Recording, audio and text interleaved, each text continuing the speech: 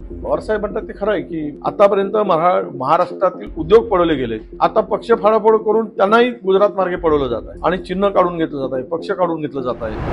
हे बघा हे- जे राजकारणात ही जी संस्कृती आली ती तर इतकी घातक होत चालली की राजकारणाचा राजकारणाचं स्तर आणि राजकारणाची दिशा जी बदलवण्याचं काम अलीकडच्या राजकारणात सुरू झालं.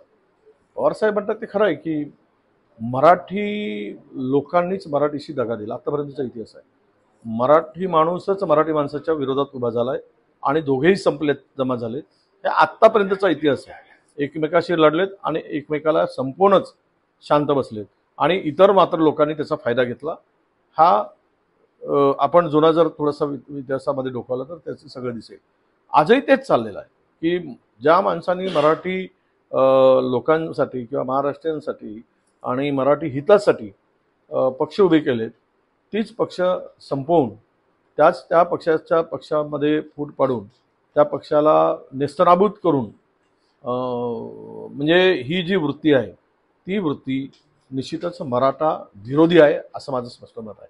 आतापर्यंत महा महाराष्ट्रातील उद्योग पडवले गेले अनेक उद्योग गुजरातला गेले पुन्हाही जात आहेत. आणि येथील ह्या महाराष्ट्रातील रोजगार बुडवला जात आहे. हे सर्व राजरोसपणे सुरू आहे. आता पक्ष फाडाफोड करून त्यांनाही गुजरात मार्गे पळवलं जात आहे. आणि चिन्ह काढून घेतलं जात आहे पक्ष काढून घेतलं जात आहे. तर मराठी माणसाची अस्मिता जी आहे ती अस्मिता मराठी माणसा मराठी म्हणून जो असलेला अभिमान गर्व होता तो त्याच्यावर यांना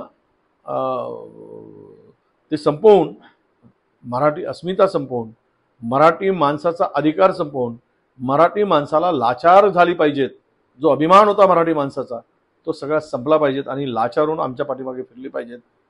ते काम आता मरा महाराष्ट्रामध्ये सुरू झालेलं आहे.